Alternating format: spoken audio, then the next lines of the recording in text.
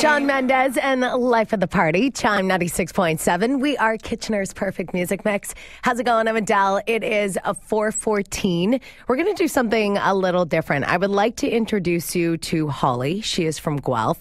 She is a transformative life coach. She has a psychology background. She is very well educated in astrology and she's intuitive.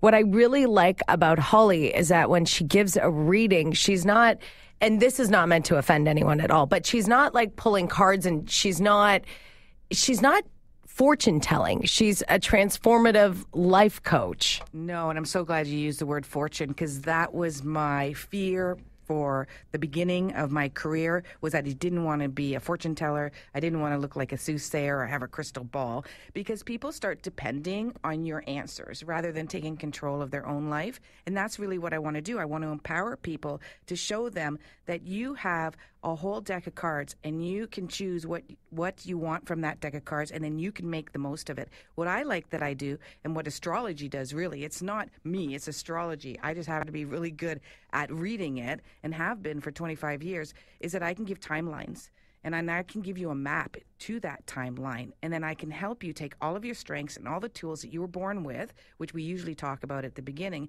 and use those tools to get the most out of this time frame, whether it's challenging or it's something that's quite fortunate. That's what I like to do to help transform people. Amazing. Now, your life has recently changed because you were endorsed by a pretty incredible doctor. Can you tell us about that?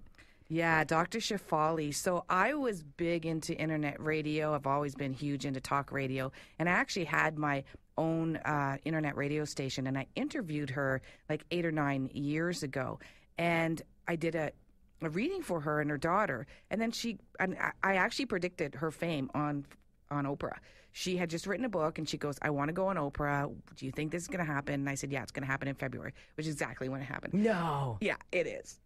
Oh It- my gosh. Blew me away too. Now, of course, she got famous, and you know how they say don't forget the little ones. Well, she, She forgot that I. She, she didn't forget me. She she remembered eight years later when I reached out to her again. So what was really cool is my um, uncle is a uh, business coach, and he goes, Holly, you need to do a reading for her and then follow up because I'd already gotten the okay that I could do another reading for her. And I said, No, I can't do that. You know, he goes, No, you got to do it. So that's what I did. And she said, I was the smartest cookie. She goes, Good for you for asking me to reach out to my people and talk about you, which is exactly what she did. And I was getting hundreds of emails a day. Oh, I bet. Yeah. Oh, I can only imagine. Okay, and we uh, put the call out to some CHYM listeners a couple of days ago to send us some emails if they wanted a reading from you. And uh, what do you say we get started on that in just a bit? That sounds amazing. Come on, come on, turn the radio on. Hey, Christine, it's Adele from CHYM. How are you? I'm doing so well. How are you? Good. Are you ready for your reading with Holly? Totally ready. You know, we had a conversation via email because I had asked you if you were in the legal field or if you were in a more creative field because you had the ability to do both. And it was really cool that you had said that you were a lawyer um, until you've launched this new uh, career. Do you want to tell me very, like in like one sentence, what this new career is about? I know you'd said it was about recording um, positive. Um, it is a series of guided journals. Right. The combination of self help Right. and journaling. So they're guided prompts for all of life's crazy things that happen to you loss and grief, cancer, all those type of things, infertility. Perfect. Wow, wonderful. Yeah, that's awesome. And you know what?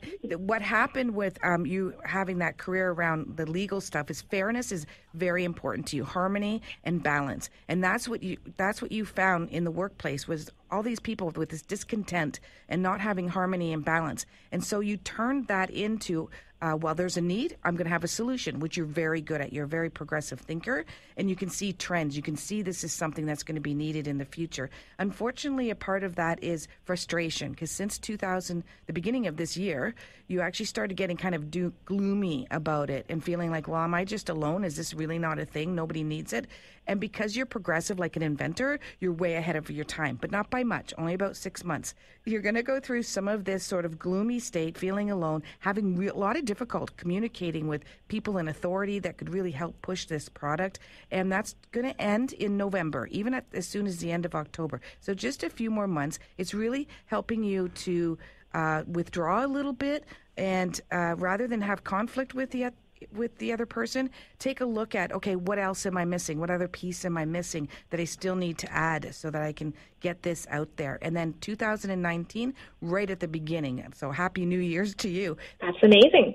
Thank you. So, how do you feel about this? It's so spot on. It is so 100% spot on. Isn't that crazy how accurate she is? So, like, she's so extremely aligned and in tune with my energy. That amazing. The transformation part for sure. All right. Well, thank you so much for joining us and good luck with everything.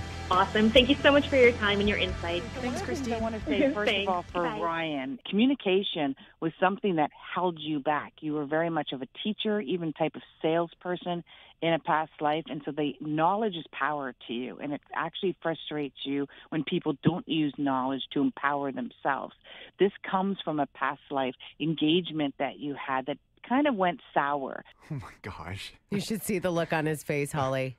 I, I- I've never spoken to a clairvoyant or to anyone for that matter that you know speaks in such a way that you do, and you know especially using my astrology chart to figure out past life. I've never spoken about this before, so this is uh, incredible for me. Is it somewhat accurate for you? Does it ring true? Uh, yeah, I, to be honest with you, it honest, honestly helps me like realize that what I'm doing right now is what I should be doing. You know, it, it kind of confirms that, and it makes me feel really good. That's the whole point. Mm-hmm. Validation. Validation is power too. Right. Thanks, Holly. I'll pay you later because he was going to quit the other day. Yeah.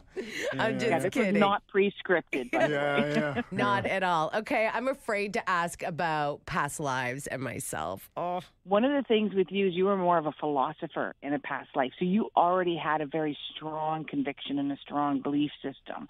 And this was something that you shared. The really neat thing is that you didn't have to convince other people to believe in you. People followed you just because of your belief. And if they didn't believe in it, then they just didn't follow you. So you're actually, when you speak your truth and you speak what's on your mind, you don't really care if somebody believes in you or not or, or gravitates towards what you're saying. You're just like, okay, fine, but I still believe in this. My, I'm convic- This is my conviction, and I'm sticking to it. so true. Yeah, just a little bit. Ryan's been in meetings Oh, meetings and you need me, your freedom. and I need my freedom. That You need your so true. You had that. You were definitely like a nomad in a past life. So in this lifetime, there's that alter ego that says, you know what? I'm a nomad. I'm a free spirit, and I have to arrange my life to make it happen that way. It's true. I believe life is what you make it. Ask Holly Hall on social media if you want to get in touch with her. Holly, thank you so much. Ask Holly Hall. Absolutely. You are so welcome, guys. Thanks, Take care. Holly.